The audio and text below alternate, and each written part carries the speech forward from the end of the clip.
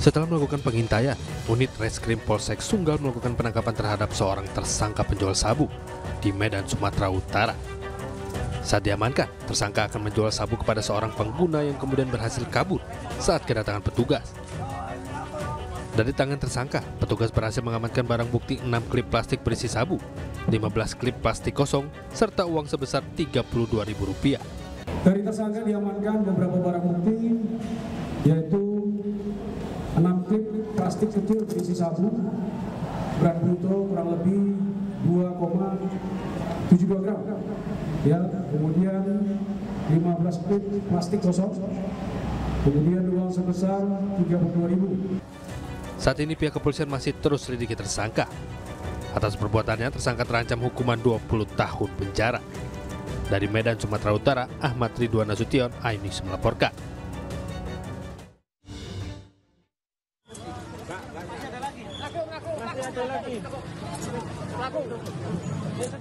Aksi heroik dari seorang anggota Babin Kamtibmas Polrestabes Semarang terekam kamera warga.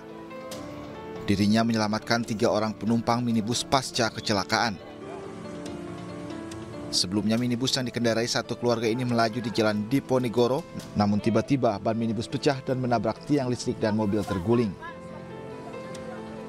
Minibus dikendarai oleh seorang wanita dan membawa dua penumpang di antaranya seorang lansia dan balita. Kami mencari posisi pengemudi KBM karena kondisi mobil terkunci sentralo kami berusaha naik untuk menggedor. Alhamdulillah untuk pengemudi masih kondisi sadar akhirnya kunci terbuka. Kemudian kami buka pintu kami komunikasi dibantu dengan warga yang ada di sekitar sana untuk membuka pintu. Akhirnya kami evakuasi dari anak yang paling kecil dulu balita terus kemudian si ibunya baru untuk pengemudi Alhamdulillah ketiga korban dari KBM selamat. Selain minibus, sebuah sepeda motor juga mengalami kecelakaan karena menabrak minibus yang terguling. Dua orang alami luka-luka. Ban sebelah kiri depannya itu pecah, dia kaget, langsung menabrak tiang listrik dan kebanting ke kanan, keguling ke kanan. Dan di belakang ada satu SPM, kaget, nabrak tapi alhamdulillah SPM ini lecet-lecet saja. Tidak ada korban dalam kecelakaan ini namun petugas mengimbau agar para pengemudi mengecek kendaraannya secara berkala agar tidak mengalami kejadian serupa. Dari Semarang, Jawa Tengah, Kristadi iNews melaporkan.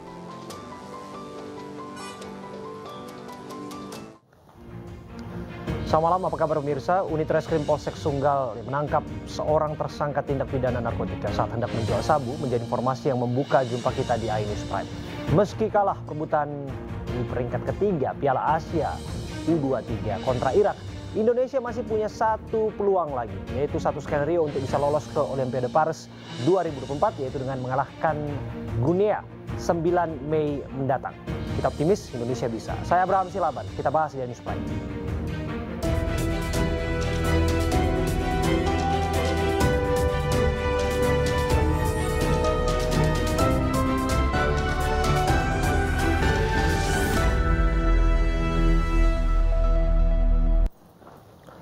Pemirsa polisi menetapkan adik tersangka AA, yakni AT, sebagai tersangka baru dalam kasus pembunuhan wanita dalam koper di Bekasi, Jawa Barat.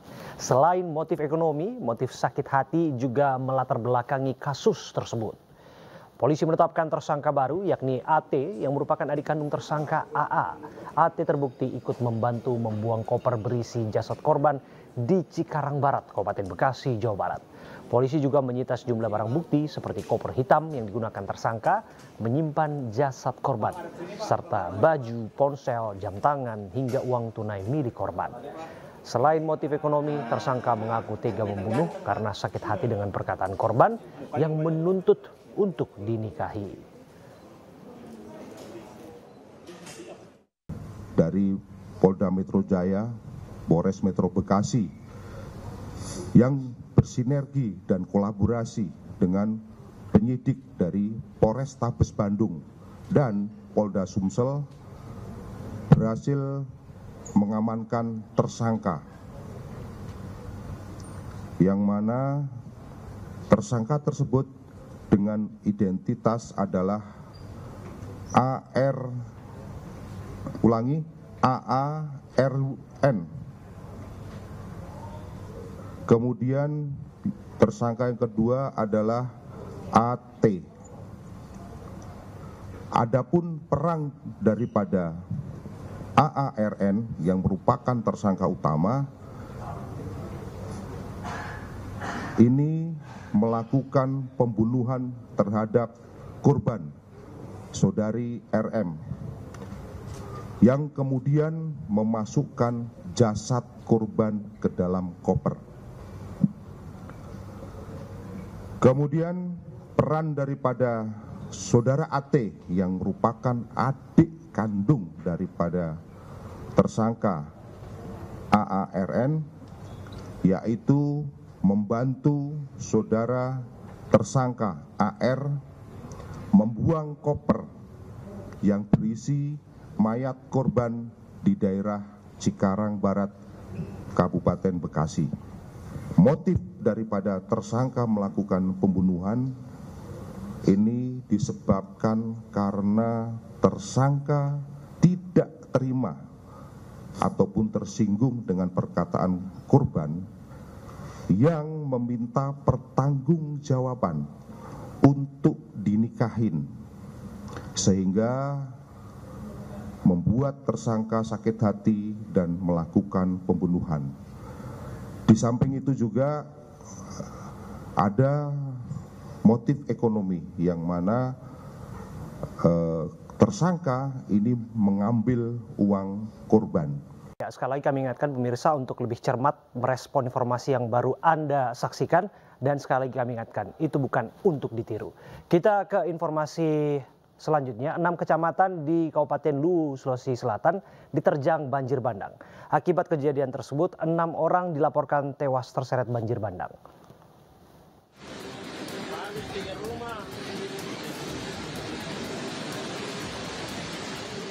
Banjir bandang melanda Kabupaten Luwu, Sulawesi Selatan. Banjir bandang yang terjadi pada Jumat membuat akses jalan poros Makassar Palopo terputus.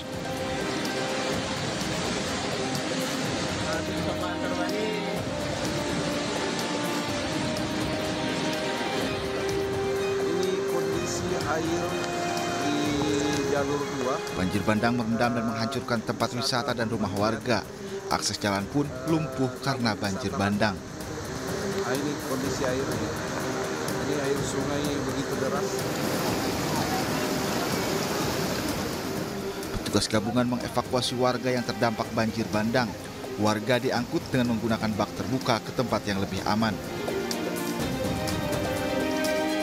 Perahu bosku, perahu bantuannya. Perahu, Sementara itu warga yang terjebak banjir ini. sempat meminta tolong. Mereka meminta perahu kepada petugas untuk mengevakuasi bayi. Setelah mendapat pertolongan, bayi kemudian dibawa petugas ke pengungsian. Para korban banjir membutuhkan bantuan berupa makanan siap saji dan perlengkapan bayi. Kalau bayinya bu berapa bulan bu? empat bulan Dibawa juga ke untuk mengungsi ya bu? Sekarang apa yang dibutuhkan bu? banyak kok karena sudah tidak ada apa di rumah semua dokter kami di rumah Pemerintah Kabupaten Luwu berusaha untuk menyelamatkan warga terlebih dahulu, termasuk menyiapkan tempat pengungsian yang layak bagi para korban banjir. Eh, kami berusaha untuk bagaimana eh, mengamankan sehingga tidak ada korban. Ya, itu yang paling utama dulu. Ya. Setelah itu nanti baru kita lihat bagaimana perkembangan kapal. Banjir bandang di Kabupaten Luwu, Sulawesi Selatan terjadi pada Jumat dini hari. Berdasarkan data sementara, banjir bandang merendam 6 kecamatan. 15 rumah hanyut dan menyebabkan 6 orang meninggal dunia. Dari Kabupaten Luwu, Sulawesi Selatan, iNews melaporkan. Banjir bandang menerjang permukiman dan fasilitas umum di Kabupaten Aceh Singkil. Sementara itu banjir memutus akses jalan Trans Sulawesi yang menghubungkan Kabupaten Koneo Utara menuju Kabupaten Morowali, Morowali maksud kami di Sulawesi Tengah. Arus banjir bandang juga menyeret sebuah rumah panggung di Kabupaten Sidrap, Sulawesi Selatan. desa kami, Desa Lebangun, Kecamatan Suro Makmur, telah terjadi banjir bandang sekitar pukul Banjir bandang menerjang desa Lebangun, Kecamatan Suromakmur, Kabupaten Aceh Singkil Aceh, Kamis malam. Dengan ketinggian air mencapai satu setengah meter di sejumlah titik. Akibatnya 180 rumah penduduk dan 8 fasilitas umum terdampak. Tak hanya itu, banjir kiriman juga merendam desa Muktijaya, Kecamatan Singkohor dengan ketinggian mencapai 80 cm. Banjir bandang. Inilah di rumah kepala desa. Ada semeter setengah meter ya di dalam di dalam rumah. BPBD Aceh Singkil menurunkan tim reaksi cepat ke lokasi untuk membantu warga yang terdampak banjir. Hingga saat ini BPBD Aceh Singkil masih melakukan pendataan dampak banjir yang terjadi.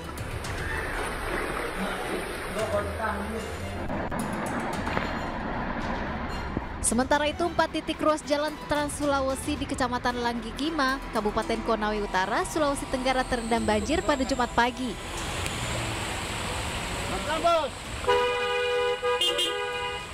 Akibatnya akses jalan tertutup dan tidak bisa dilalui kendaraan yang akan menuju Morowali, Sulawesi Tengah. Sejumlah kendaraan yang terjebak memaksa menerobos banjir untuk keluar dari jalanan yang terendam. Diketahui banjir disebabkan tingginya intensitas curah hujan selama beberapa hari di Konawe Utara. Tak hanya memutus jalan Trans Sulawesi, ratusan rumah warga di Kecamatan Lagikima dan Landawe pun terdampak, sehingga warga diminta mengungsi ke lokasi yang lebih aman.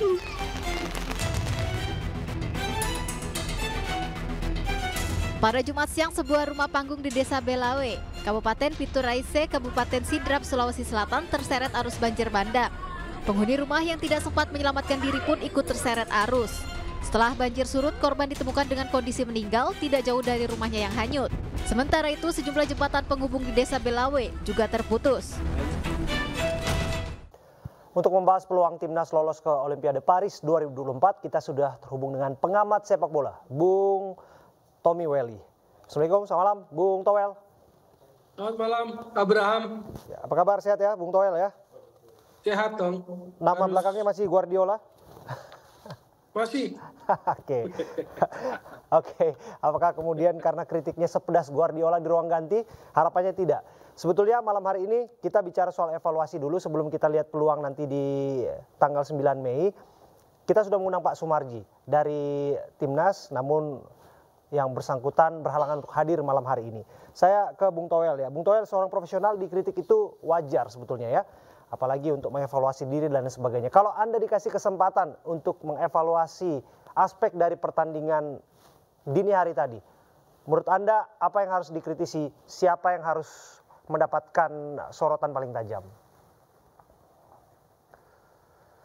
Eh, di level apa pun, terutama di level tim nasional, yang harus ambil tanggung jawab adalah pelatih tim nasional. Jangan sampai hasil pertandingan, kalau kalah pelatihnya yang disanjung-sanjung, eh sorry, kalau menang pelatihnya yang disanjung-sanjung, kalau kalah pemainnya yang disalahin gitu loh. Jadi jangan tunjuk satu atau dua pemain sebagai kambing hitam dari kekalahan. Karena ini semua kan ada pelatihnya, ada yang men-set up segalanya gitu loh. Kan ingat Pak Marji pernah bilang bahwa Sinteyong sendiri yang menyatakan dengarkan saya, turuti saya, percaya pada saya, dan saya akan antar kamu ke final. Kan begitu kalimat Sinteyong. Jadi dalam situasi seperti ini harus ada kalimat yang sejuk karena masih ada satu peluang lawan Guinea di Prancis. Artinya jangan menunjuk kesalahan, kekalahan pada satu atau dua pemain. Ah, apakah nggak dirasa begitu naif kemudian menyalahkan ini semua ataupun membuat beban ini semua di pundaknya Sintayong karena pada prakteknya yang bertanding tentu saja di bawah komando yang bersangkutan tapi lagi dan lagi ada beragam faktor contohnya faktor kelelahan dalam maratonnya jumlah pertandingan dan lain sebagainya Ya pasti itu kan faktor kelelahan, teknis, non teknis. Tapi kan dia pemimpin, komandannya tuh. Komandan tim yang berjuang kan dia, Oke. seorang pelatih. Masakan yang nanti bertanggung jawab atau mengambil Spesifiknya di mana yang mau Anda soroti Bung Towel? Kalau misalnya Anda Kenapa? spesifiknya bagian mana yang Anda soroti? Soal teknis lah misalnya yang Anda lihat Maksudnya gini, kalau ada taktikal yang nggak jalan, nggak perlu juga harus menunjuk satu atau dua pemain, Hmm. menunjuk kesalahan satu pemain, misalnya Justin Abner dianggap blunder, dia nggak ngerti kenapa blunder gitu loh. Dalam sebuah pertandingan bola itu kan akan terjadi juga gitu loh. Rafael Straight bikin gol ke gawang Korea Selatan, itu kan juga ada faktor kesalahan gol yang kedua yang saya maksud, itu juga ada bagian dari kesalahan pemain Korea Selatan. Gol tercipta selain karena kehebatan pemain yang bikin gol, juga kadang di ada situasi kesalahan pemain lawan gitu loh. Nah, jadi ketika ini katakanlah tidak berjalan sesuai harapan, kalah, nggak perlu menonjolkan kalimat itu bahwa saya juga tidak mengerti misalnya eh, blundernya Justin Abner kenapa nggak perlu juga saya bilang menunjuk kesalahan pada satu atau dua pemain gitu loh. Karena secara overall, secara overall saya merasa bahwa timnas sudah melampaui harapan, melampaui target gitu loh. Jadi apa pun hasilnya, sebetulnya timnas sudah berjalan, sudah bermain dengan baik menurut saya sih di Qatar U23 ini. Oke. Disebutkan bahwa sudah melampaui harapan untuk uh, sampai masuk ke semifinal. Tapi pada akhirnya yang namanya Paris kan sudah depan mata. Itu uh, kalau dibilang bonus uh, rasanya enggak ya. Itu kayaknya udah besar sekali niat kita untuk bisa masuk ke sana. Bahkan kita mengibaratkan selangkah kaki kita seharusnya sudah ada di Paris. Menurut Anda bagaimana peluang kita untuk bisa mengalahkan Guinea, Bung Toel? Ya, kan kalau target PSSI 8 besar. Target pribadi Sinteyong 4 besar. Kan semua tercapai itu. Setelah tercapai 4 besar, semifinal, kan rasanya sayang kalau peluang terbaik, peluang berharga ini tidak diambil untuk tiket Olimpiade. Jadi normal kalau punya ambisi dan sebagainya. Tetapi kan makanya ada sebuah perbedaan penampilan. Ketika bermain tanpa beban, dengan mentalitas underdog, tanpa ada atmosfer euforia di belakangnya, permainan kita bisa seperti lawan Jordania dan Korea Selatan. Tapi setelah itu, kita nggak sampai lagi level peak seperti lawan Korea Selatan. Oke. Itu catatannya. Bagaimana peluang melawan Guinea? Secara teknis sepak bola, kekuatannya lebih sulit dideteksi, sulit ditebak. Karena kita tidak terbiasa lawan tim-tim asal Afrika. Kalau lihat dari datanya, kecenderungan mereka kan banyak besar atau dipengaruhi oleh sepak bola Eropa, terutama Prancis. Sekalipun pemain ini kan tim debutan ya, Prancis. Bung Toel ya. Karena kan kita Ya. kita sangat jarang uh, mendengar bagaimana prestasi Guinea di benua Afrika. Karena memang yang dalam dalam gelaran ini pun Guinea juga tim debutan. Iya betul. Tapi di di, di Prancis mereka kan peringkat empat. Mereka bisa lawan Mali, oke itu draw. Lawan Mesir kalahnya dikit. Lawan Maroko sebagai juaranya kalah 1-2. Jadi nggak bisa dipandang remeh lah. Karena itu tadi saya bilang mereka besar di sepak bola Eropa, terutama di Prancis, Belgia, Turki, Yunani. Jadi mereka ke sana belajar bolanya gitu loh. Apalagi secara latar belakang negara Afrika kan bekas negara dominiannya Prancis. Nah, kekuatan itu yang tidak mudah dideteksi, dibaca oleh kita. Jadi yang nggak gampang juga, tapi bukan berarti nggak ada peluang. Karena itu tadi seperti Abraham bilang, ini peluang yang sangat berharga. Sayang kalau nggak dimanfaatkan. Kapan lagi sudah begitu dekat ke Olimpiade gitu kan? Betul, betul. Dan terakhir kita kalau saya nggak salah tahun 52 atau 56 tuh Pak, sekitar 68 tahun yang lalu di Melbourne, Australia ya, Bung Toel. Tapi begini Bung Toel. Iya. A- Ada ada kemudian anggapan bahkan kritik yang disampaikan oleh netizen mengenai performa pemain-pemain yang bertanding di Irak. Ada beberapa nama yang disalahkan. Saya nggak harus menyebutkan lah ya. Tapi Anda pasti sudah mendengar itu. Kemudian Ya, ada ya. yang menitik beratkan seharusnya uh, diberikan apresiasi juga kepada pemain-pemain naturalisasi. Mengingat bahwa mereka sudah berjuang habis-habisan dan lain sebagainya. Bagaimana Anda melihat bahwa ketersediaan pemain naturalisasi ini juga nanti akan menjadi insentif uh, yang menjadi tambahan kekuatan bagi Indonesia untuk melawan Guinea sekaligus pemain-pemain lain juga berbenah diri. Kalau bicara pemain naturalisasi kan ada empat di U23 ini. Iya. Jadi saya pikir kontribusinya sama lah. Nggak bisa dibilang yang naturalisasi yang empat orang itu Yasin Habner, Rafael Strey, Ivar Jenner, dan Nathan Chuaon lebih besar dibandingkan yang lain nggak bisa. Uh, Hernando Hari juga keren, mainnya Rizky Rido juga, uh, Rio Fahmi juga keren. Ferrari kan bagus mainnya. juga ya. Kenapa? Ferrari, Muhammad Ferrari juga bagus. Ya, jadi artinya kalau bicara kontribusi semuanya berkontribusi. Tidak ada satupun yang menurut saya sih pantas membusungkan dadanya lebih hebat. Baik itu naturalisasi maupun pemain lokal. Semuanya berperan. Marcelino Witan itu kan kunci di permainan terutama di aspek penyerangan gitu loh. Rizky Rido kan kita tahu sendiri kapasitasnya sebagai pemain belakang maupun sebagai captain tim. Jadi saya pikir kalau bicara itu normal-normal saja lah. Oke. Semua semua semua apa ya? Semua pemain punya kontribusi Oke. besar. Ah, Bung Toel kami dengar ada tambahan Elkan Bagot dan satu pemain naturalisasi lainnya untuk kemudian bisa berlaga di 9 Mei mendatang melawan Gunea. Apakah ini menjadi angin segar bagi kita? Karena Justin Hubner nggak bisa ikut, nggak bisa ikut main Hmm. ke Prancis tanggal 9 Mei karena harus balik ke klubnya, maka Elkan Bagot kelihatannya yang dipanggil untuk memperkuat timnas Indonesia. Tapi tentu kita akan menunggu jawaban dari atau izin dari klub Elkan Bagot. Kalau dari yang lokal, Alfreanda Dewangga ya, pemain Betul. belakang dari Semarang yang dipanggil untuk tampaknya segera bergabung dengan tim nasional. Oke. Harapannya ini bisa menjadi suntikan motivasi ya. Dan kita harus tetap menyemangati ya Bung Toel ya. Kita harus punya asa Harus kita yang selalu sama berharap bisa Paris bisa sukses menjadi satu kenyataan. tiket Olimpiade karena itu akan jadi sejarah. Satu langkah itu yang terakhir tahun 76. Satu Ya. langkah terakhir ke Olimpiade juga tahun 76, Olimpiade Montreal Hmm. hanya gagal oleh Korut di pertandingan menentukan di GBK. Nah, semoga tanggal 9 nanti satu langkah terakhir itu lawan Guinea bisa disempurnakan berupa Amin. tiket. Amin. Kita berikan dukungan terbaik. Terima kasih Bung Toel. Terima kasih uh, memberikan pandangan kepada kami. Bagaimanapun Ya, uh, kita berharap timnas melakukan yang terbaik. Kalaupun ada kritik dan evaluasi, itu adalah bagian dari yang diterima dan dihadapi seorang profesional di mana pun berada.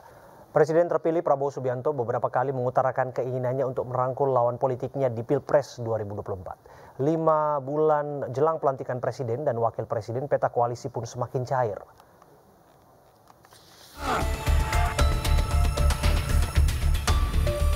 Presiden terpilih Prabowo Subianto berupaya merangkul lebih banyak pihak untuk menjalankan pemerintahannya ke depan. Kelompok yang menjadi lawan di pertarungan Pilpres 2024 satu persatu digandeng menjadi kawan sejalan dengan alasan demi kedaulatan.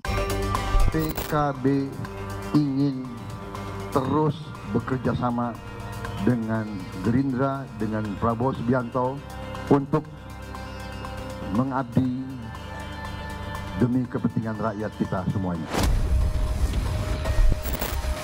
Mantan calon presiden 2024 Anies Baswedan punya jawaban sendiri menyikapi peluang bergabung dengan pemerintahan Prabowo Gibran.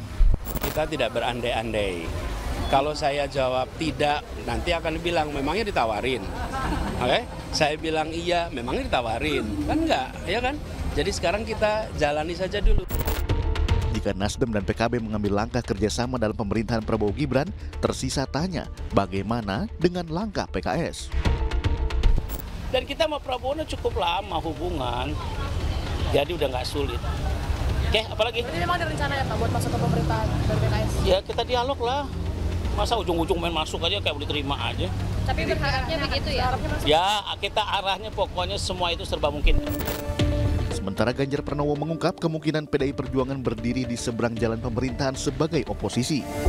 Uh, belum memutuskan ya, tapi saya kira kalau lihat statement-statementnya Bu Mega rasanya iya. Saat PKS masih menantikan waktu pertemuan dengan Prabowo. Pertemuan Prabowo dan Ketua Umum PDI Perjuangan Megawati Soekarno Putri masih sebatas wacana.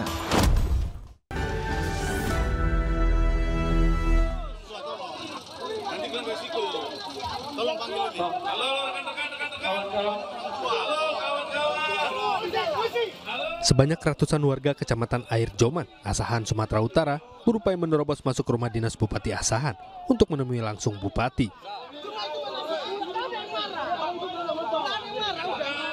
Aksi sejumlah warga tersebut mendapat perlawanan dari petugas Satpol PP yang menjaga keamanan di lokasi tersebut hingga terjadi kericuhan dan nyaris baku hantam. Karena tak dapat menjumpai bupati, warga kemudian menggeruduk kantor Bupati Asahan dan terlibat aksi saling dorong yang ingin mencari Bupati Asahan.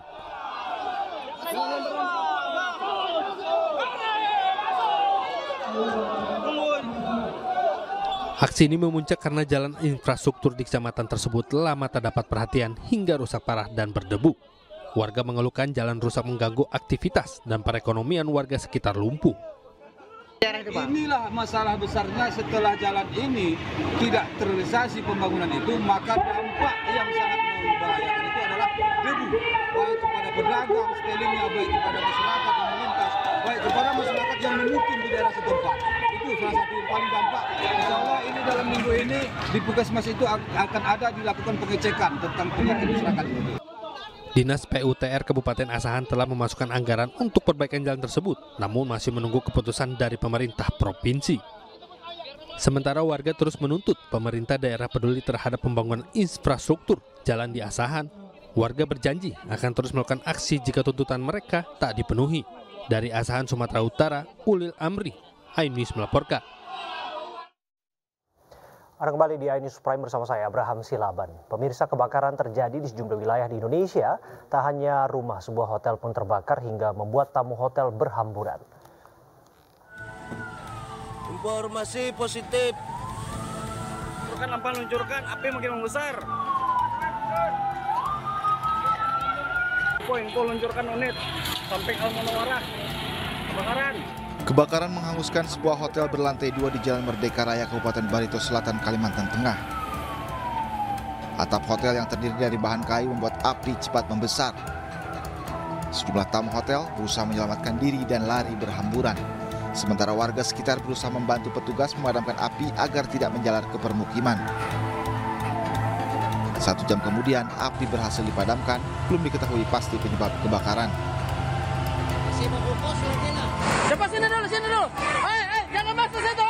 Ini dulu, ini dulu. Ini dulu, ini dulu. Ini dulu. Ya, yang di situ dulu, yang di situ.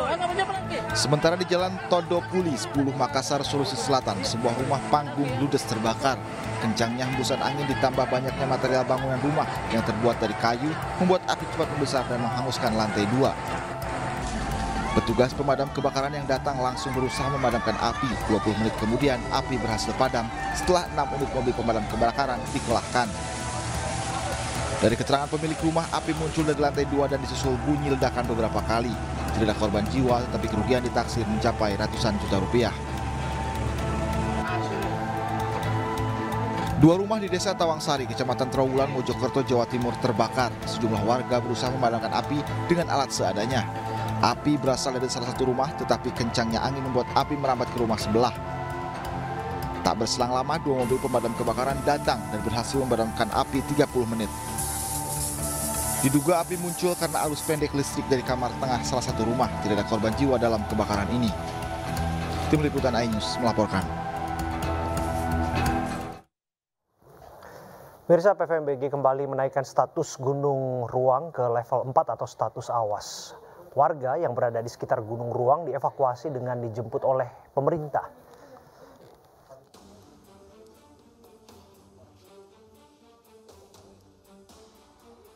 Gunung Ruang di Kabupaten Sitaro, Sulawesi Utara kembali erupsi dan mengeluarkan asap tebal. Tingginya semburan asap yang mencapai 5 km membuat PVMBG kembali menaikkan status Gunung Ruang jadi level 4 atau awas. Warga di sekitar Gunung Ruang diimbau tidak memasuki wilayah radius 6 km dari pusat kawah aktif Gunung Ruang. Sementara itu ratusan korban erupsi Gunung Ruang yang dievakuasi dari Tagulandang ke kota Bitung dengan kapal tiba Kamis malam dan Jumat dini hari. Sebagian orang dijemput keluarganya namun ada 231 orang belum dijemput keluarga. Mereka menginap semalam di rusun BLK Kota Bitung yang telah disediakan oleh pemerintah Kota Bitung. Mengangkut pengungsi sekitar 200 orang. Dan mereka juga ada sekitar 60 orang yang menginap di uh, BLK ini. Memang paling banyak uh, saudara-saudara kita yang dari Tagulandang yang mengungsi ke Kota Bitung hanya transit saja karena mereka banyak yang dijemput keluarga. Bahkan ada sejak uh, kedatangan pertama sampai dengan tadi malam, sampai pun dengan subuh, mereka langsung menjemput langsung dijemput oleh keluarga mereka dan dibawa ke rumah masing-masing keluarga mereka. Kementerian Sosial juga menyediakan pelayanan cek kesehatan gratis untuk para pengungsi korban erupsi. Sementara terkait warga yang belum dijemput keluarga, Pemkot Bitung menyediakan bus untuk mengantar warga terdampak erupsi ke rumah keluarganya.